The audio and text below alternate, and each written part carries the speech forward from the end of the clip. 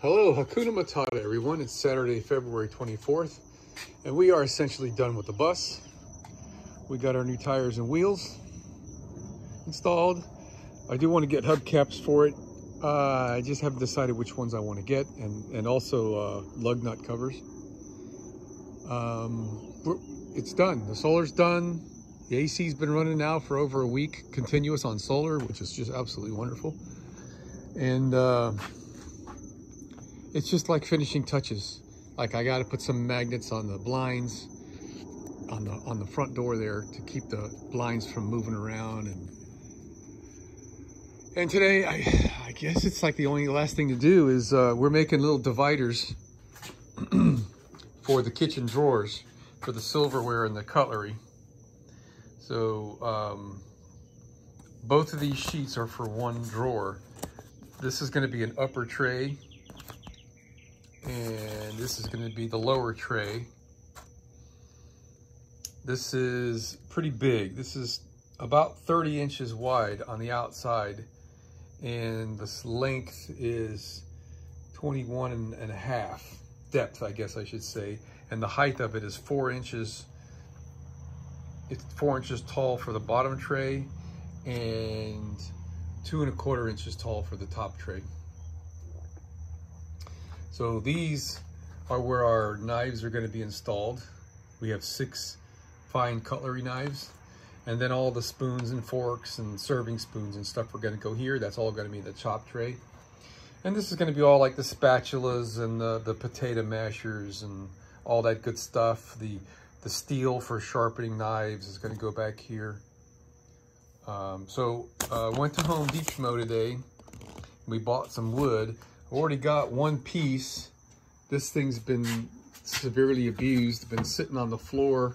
It's got metal shavings embedded in it from walking on the darn thing. That's aluminum, so that's not so bad. But the wood's beat up. Uh, we're gonna cut this down to a half inch thick for the outer perimeter. These are going to be quarter inch thick spacers for the silverware. And these are going to be solid blocks that are going to be 7 eighths of an inch wide. No, I'm sorry. An inch and a half-ish wide. Right there, that's an inch and 9 sixteenths, but we're compromising. We're going to make that an inch and a half. The grooves are going to be a hair wider. And um, those will be, what is it?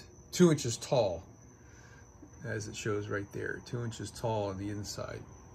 So I've got one by material that I'm going to cut to eight inch long pieces.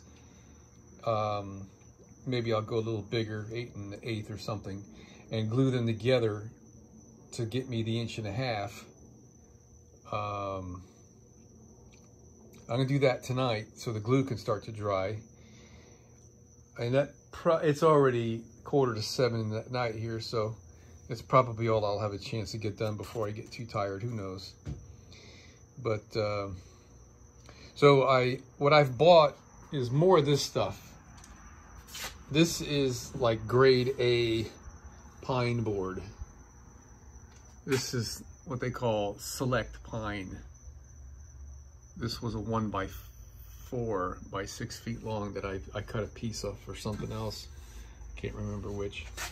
But um, when I rip this piece down to half inch wide or half inch thick, all this ugliness is going to go away. And, you know, I've got a groove down here. But I bought me um, an eight foot um, one by three, a five foot one by six, and I think like a six foot one by two. I did all the ciphering when I was in a Home Depot, so I should have enough to make all this. And I also bought a piece of, uh, it's called uh, laminate. I mean, I got it right here in the car. I got to take it out. There's my little woman. How you doing? Where's that piece of wood at? Right here. This is called uh, underlayment. I'm sorry. It's the only wood that I can buy in clear conscience for doing this type of work, and I'll show you what's all up with this stuff. That's the old piece, yeah. So if you look at this this underlayment, I mean, this is like the bad side. And it's just got these tiny little, hardly anything looking marks. And the, I would call this the good side. It's beautiful, smooth as can be, nice stuff. Called underlayment, man, but it's great, it's great stuff. Now here's the reason why I buy it. If you look at the plies, this is three plies thick. And the plies, this is quarter inch thick. So, I mean, that's a lot of thickness to the plies. That lets you sand this thing when you build things and there's enough wood there to sand. Every other type of wood that you buy is like this me show you how that looks. The surface of this Luan is like microscopic thin. Let me see if I can find a spot where it's peeling. Well, there's there's some from an adjacent piece that was glued to it. That's the thickness of the outer layer. It's a few thousandths of an inch thick.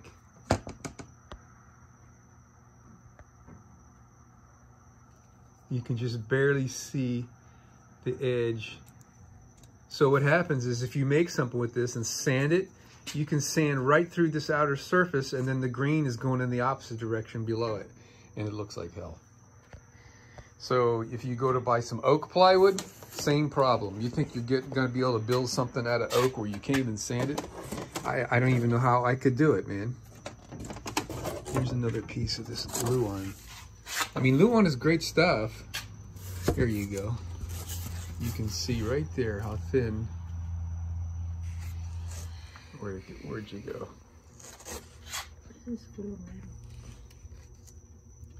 Right there. How thin the the surface ply is on that. And the stuff below it looks like hell. So you really can't you can't pretty much you can't sand it. So anyway enough of that. So I bought this four foot by two foot piece. I think it was about 12 bucks.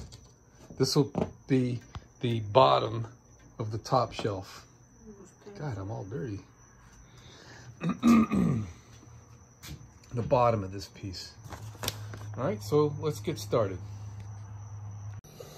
All right, I just uh, took the blade off my circular saw. This is a Ridgid six and a half inch. Um, and this is a really, really fine, fine tool if uh, you're so inclined to have one. Um, it's way powerful. And um, it does a great job for me. I, I, like it. I've cut a lot of stuff with this.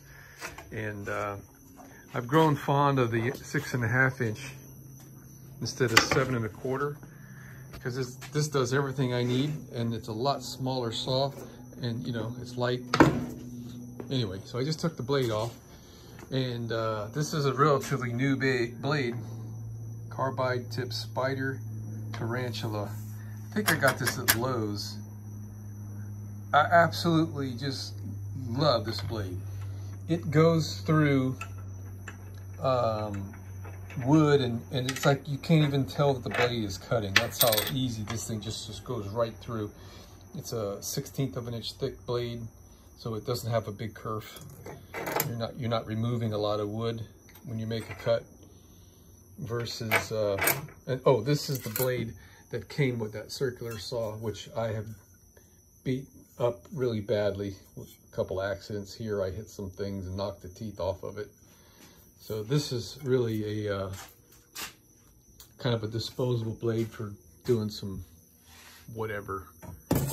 You know, I I keep a bunch of blades that are old ones and no longer really good for fine work. Uh, the downside to this blade for what I need to do now is I need to cut a two inch tall cut. This blade ain't gonna do it. The most I'm gonna get out of this blade is like an inch and a half or so. Uh, let me tighten that up. Yeah, we're, we're all the way up here and, and I'm at about an inch and a half, which is fine for uh, ripping and cross cutting, anything I've got to do, uh, except for this tall work for all these pieces here are two inches tall or yeah they're two inches yeah two inches tall so I can't cut any of that tonight, but I can cut these pieces perfectly fine. So we're gonna work on those. Okay, so I got an eight foot piece of this one by three, which is two and a half. Uh, I need two. That leaves me with a half inch piece left over. So I'm gonna rip this first at about two and uh, eighth. I mean, two and sixteenth would be enough. I'll decide on, on that. Um, and the reason why I'm going to rip it first rather than cross cut it first is I'm going to use the leftover piece of this. I'm going to show you where. On the bottom tier. So this is the top shelf. The bottom shelf is the full size of the whole drawer. And it's four inches tall and I'm not gonna try to buy solid wood and rip it to a half inch wide. I don't want to use three quarter inch wide. It'll be just kind of gaudy and take up a lot of drawer space. Half inch is already kind of wide. Three eighths would be fine, really, but I'm gonna go with half just to make it a little bit easier to put together. Uh, so uh, I'm going to make these pieces out of some half inch plywood that I have in the house, which is not my first choice, but it's an economic decision. I have enough of it to make this whole thing. I don't want to see the end grain on all these pieces. So on all these pieces of wood, I'm going to glue a cap on the top edge of it of some solid pine. And I think that will be that will be maybe enough to do the whole thing or at least half of it but, uh, so yeah let me get my this is my old sled here. Take that off. So we're gonna set up here and do the rip cut now. And uh, once we rip that piece off to save then we're to cross cut this in uh, a little over eight inch long pieces. We need two, four, six, eight, 10, 12, 14 pieces that are eight inches long to glue together to make these blocks so the knife can sit in the groove between the blocks. Uh, I did have a piece on the end here that I removed from my drawing. I think I'm just gonna leave those open. The knives don't go long enough to come into the space. I know it might be a little weird having those unfinished end on there, but I'm going with it. Okay, what did that come out to be? About two and a sixteenth. So that gives me a 16th inch to trim. And now we're set up here with the sled so I can make a nice 90. So technically, my miter saw would be the right tool to be making these cross cuts.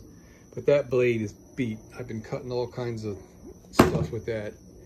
Uh, and this thing is just so nice to work with. So we're gonna use this one.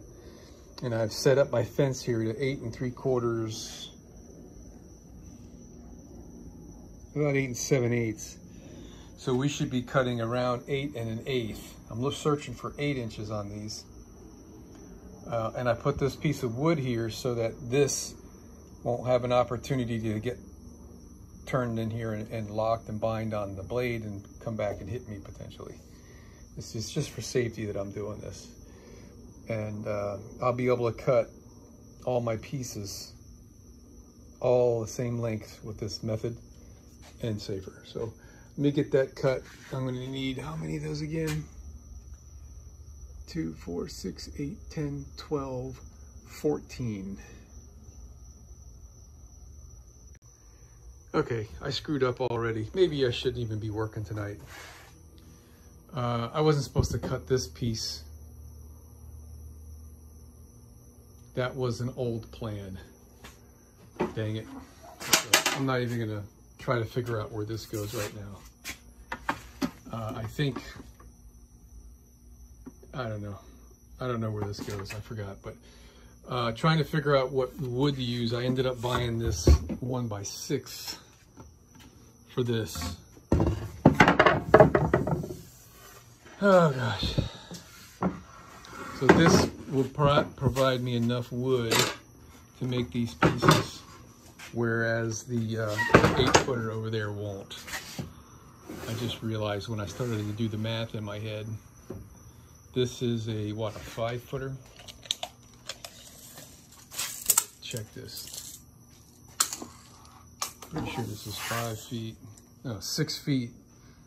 And I'll be able to get um, one, two pieces of two inch out of it. So it's like having a 12 footer. These other ones aren't that long enough to make two pieces out of, out of what I need. So, all right, I got to start over here uh, with my logic. I'm to rip this to the two and a 16th, get two pieces. Uh, I'm to turn my table saw 90 degrees again. Uh, that'll give me a, re, a usable piece that I can cut off here that'll be the full length. And I can use that for other parts. And then we'll set up like this again to uh, cut the eight, eight inch long pieces. Okay, we got that done correctly. Uh, I got some people over right now. They're picking up the old wheels from my bus. I gave them uh, the old wheels the tires are really no good. They're just too old to be using, but they want them for some semi-trailers. And the rims are good, so they got four good rims and a bunch of tires. Uh, so I got to help them guys out, and uh, hopefully, uh, all said and done, I'll be able to have time left over this to come back and glue these pairs together, and then I'll be able to call that a night. Okay, um, this is kind of a dry fit here. There's no glue, but I got all my wax paper pieces figured out and I got little blocks here so I don't dent the wood. And I'm gonna get the little woman to help me glue all this up. And uh, yeah, we're in good shape here. All right. All right, that's it for a day. I've got these clamped down to my table saw through here. And I've got uh, these guys squeezing it this way. And we use the clamp across here to even them up. And it's pretty close. Um, this thing here is likely to be freaking glued on there.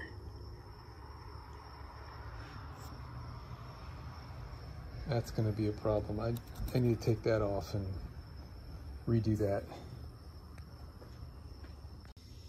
Okay, that's better. I put a double layer of wax paper here. So that'll come apart tomorrow. And uh, hopefully all this will separate. I think we're okay. That one tore right there a little bit, but tomorrow's gonna be showtime.